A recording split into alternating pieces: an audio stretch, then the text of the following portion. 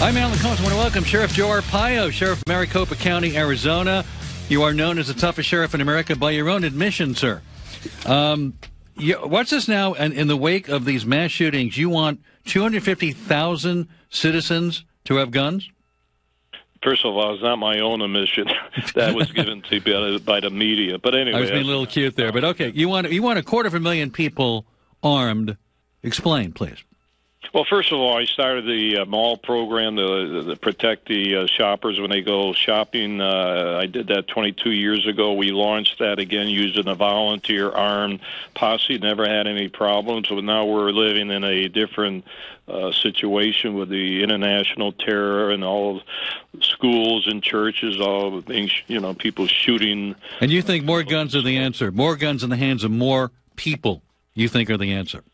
Well, we have concealed weapons uh, laws here. Actually, we're very liberal here in Arizona. Uh, we have over uh, 250,000 uh, uh, people with concealed weapons.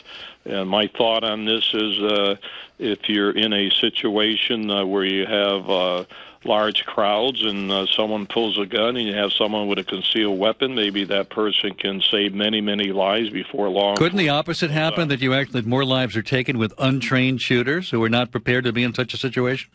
I haven't seen any statistics on that across the nation.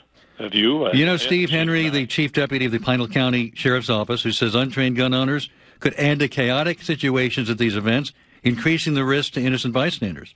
That's his problem. He doesn't run this office. That's Pinal County. I don't. Yeah. Uh, we're, we're the th- third largest sheriff's office in the United States. I understand, but his, he also says sometimes it's not proper to pull the trigger because the collateral damage isn't worth it.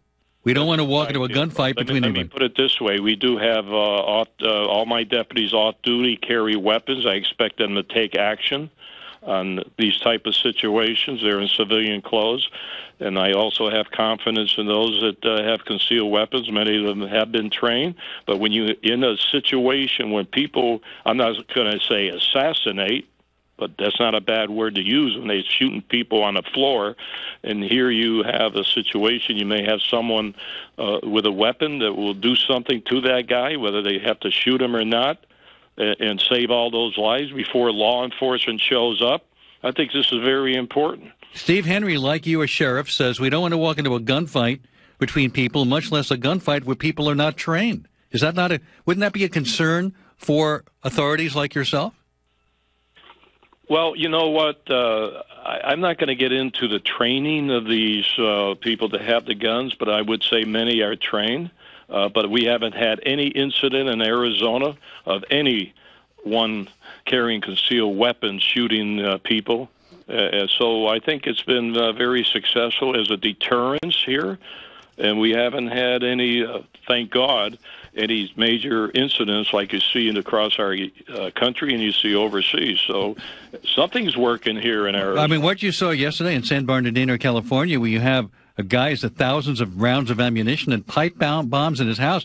Should we have a country where this is that anybody can get this kind of ammunition and store it in their homes? Is that not a toxic environment?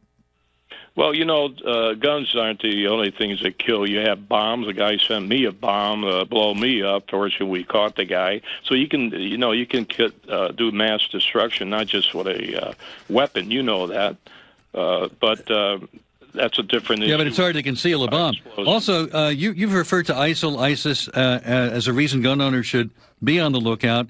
Do you honestly think that American gun owners, if more Americans were armed, there would be a deterrent to a group you know, like I- ISIS? I think when I had the press conference, by the way, my press conference was uh, five, six days ago before the incident had just happened when I said I want to uh, help the posse and help the people by uh, utilizing those that have uh, concealed weapons to take action during a mass situation that's been occurring. And I still stick by that. But that's something that that person has, or persons have to make up their mind when they confront these.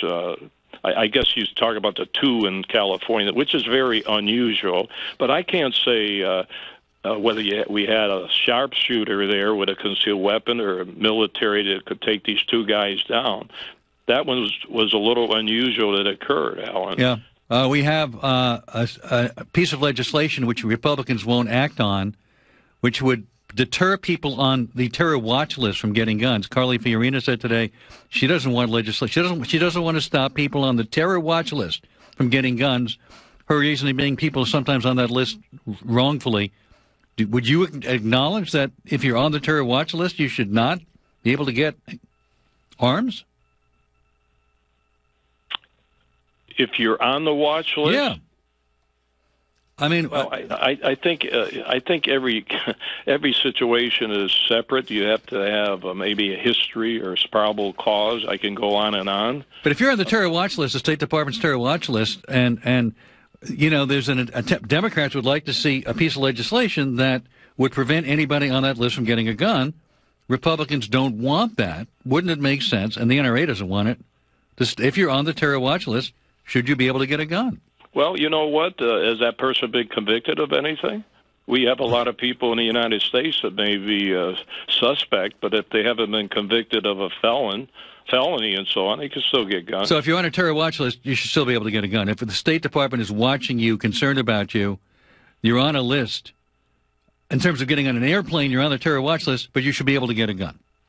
Well, once again, it depends on the circumstances. I'm, I'm not. Uh, yeah. You're talking about a blanket blanket policy. Yeah. So, well, right. I don't know. Uh, if uh, somebody's suspected of shooting uh, uh, somebody and uh, you'd have no evidence to convict them or so on, should that guy be able to get a gun? I guess. Well, I'm just talking about the terror watch list. If the State Department has enough suspicion of you that you're on a te- they're watching you, you're on a terror watch list, they're concerned you might commit an act of terror. I'm wondering if that's someone who should get a gun in this country. And uh, well, you know, well, but, if that's the case, maybe they ought to uh, work on these suspects and bring them to justice. Forget the gun issue, but the, yeah. if they are terrorists, first of all, they shouldn't be coming across uh, the borders to begin with. They ought to be talking about that. These aren't necessarily people who came across the border. There are a lot of people here. Don't forget 9 11 were people who overstayed their visas. They weren't people who snuck across the border. Yeah, I can say, uh, yeah, I, I remember that. I remember also cops that stopped four of those uh, uh, people uh, on traffic violations, and then they let them go, and look what happened after that. But uh, there's all a lot, a lot of political uh, correctness going around here, Alan. You know that all these politicians have their own opinion. The only thing I'm trying to say is to do something on when these situations occur. Do whatever you can to save lives before the cops show up no matter what it takes. I think the debate is whether or not more guns solve, solve their problem or make the problem worse. But I, I, always appreciate the debate, sir. Thank you very much for coming on our program this evening. It was a pleasure, Alan. Thanks for your time. That's Sheriff Joe Arpaio, Maricopa County. And uh, we'll be back in a moment at 8774 Alan.